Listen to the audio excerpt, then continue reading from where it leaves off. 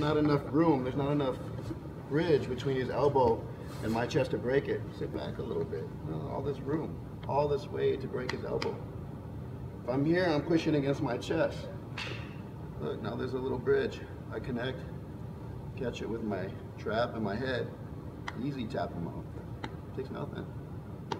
I like doing this. Very good. Since I have you here. So, side mount number E. So that's if he used this arm. So he can't use this arm. If it's straight, I got him. If he bends it over my face, I got him. He's like, no, I'm not going to do that. So what does he do? He gets his elbow in. Now I go to side mount number two. Now, he wants to get to his hand here. Everybody come on this side. Oops, sorry. So I'm here. He gets his hand there. Yeah, now I can't stay here. He's too much space. Go ahead, go. Yeah, easily gets his knee in there. So I'm on side one, two. He's doing exactly what he wants. He gets to his hand. Now, I'm going to show you what not to do and what to do. What everybody does is we do this. We go here. I think he knows this. I slide in and I have my chest facing up. Now he uses his number three here. He pushes my face away. Push it right by the ear. Make me look. Now, all he's going to do is walk his feet this way. Walk, walk. You know what I mean? So look, I get that hand in there. He switches his base. Boom. Look.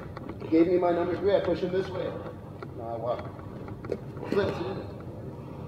Done. I love it when people switch their base on me in kesa gatame, whatever you call it. I don't know.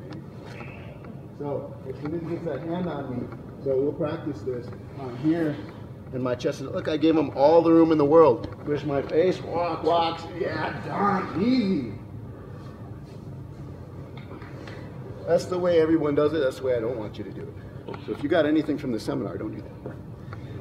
The way I want to do it is he has my hand on me. I keep my shoulder facing down. Look, boom. I don't give him any room for his number three to come in, to come in. Here. Now, my hand comes over. I block the face. My leg comes over and I sit here. Now, he's, he's you okay? Now I'm on his tricep. Now I have everything. Now I have this tricep, I have this tricep. One, two. Look, everybody come over here. Notice I'm sitting right on his face. I'm not down here. One. I grab my leg, hip forward for the arm bar. If I miss the arm, I have a wrist lock. You can't move this arm, it's stuck. Now this tricep's blocked too. Look, same move as I did a minute ago. I cut my arm, use my use my upper body to go down. Boom. Let's start there. So, side mount two, he gets his hand in. Practice the wrong way. Wrong way. Bang, make him look this way, yeah. I wasn't even snaking. He's just walking this way. He's walking in a circle. Now we do it the right way. Bang, my shoulders stay down. Lock the head. Look, my head comes right down. My knee. I want to follow my principle. My knee has to go right on his shoulder. I sit. All my weight is on his tricep and on his head. He can't move here. Go ahead, move. Bang, done.